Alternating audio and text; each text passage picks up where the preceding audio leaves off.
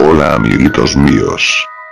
Hoy, les traigo un video especial, ya que les contaré una historia de terror 100% real, no fake. Bueno, empecemos. Hace muchos años existía en la ciudad de Puebla, México, una fábrica especializada en la producción de calzado. Todo marchaba bien, las ventas eran buenas y el negocio era muy conocido por los vecinos. El dueño, Gustavo Romero, tenía una vida feliz llena de comodidades y placeres, sin embargo, él tenía un defecto muy grande, era ambicioso y avaro. Debido a estas características, Gustavo se metió en negocios sucios con el fin de evadir impuestos, obtener más ganancias en consecuencia y tener más recursos para seguir invirtiendo en sus gustos. La desgracia llegaría a su vida cuando los trucos de Gustavo fueron descubiertos por la justicia y por la comunidad en general. Esto significaba el fin de Gustavo como empresario y marcaría su reputación como hombre venerable sin mencionar los años de cárcel que tendría que pagar por evadir al fisco. Gustavo no pudo soportar la situación que se avecinaba por lo que optó por suicidarse. Consiguió una soga, se armó de valor y se colgó de un poste dentro de su bodega. Es así como la vida de este empresario llegaba a su fin. Veinte años después de la desgracia acontecida la fábrica se convirtió en un gimnasio y la mítica bodega pasaría a ser el lugar donde se ubicaban las regaderas. Roberto, el vigilante del gimnasio, recibía la noticia de que pronto tendría un compañero de trabajo, su nombre Israel Balbuena. Durante la primera noche de vigilancia, Israel decidió tomar un baño debido a que previamente había utilizado las máquinas del gimnasio a escondidas de sus jefes. Roberto decidió encubrir a su compañero para que sus jefes no lo encontrasen utilizando las instalaciones. La sorpresa llegaría cuando Israel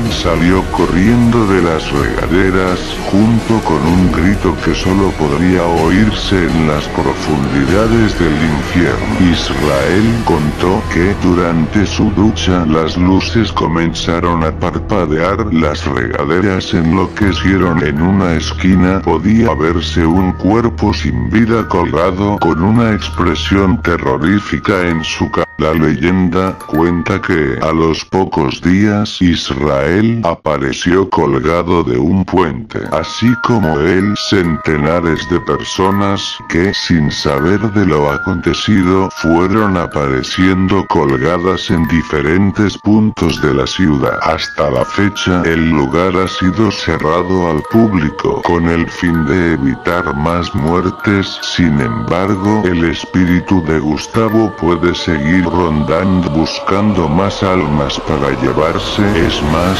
puede estar justo detrás de ti. Espero que les haya gustado, no olviden suscribirse y darle like al vídeo. Comenten hasta la próxima.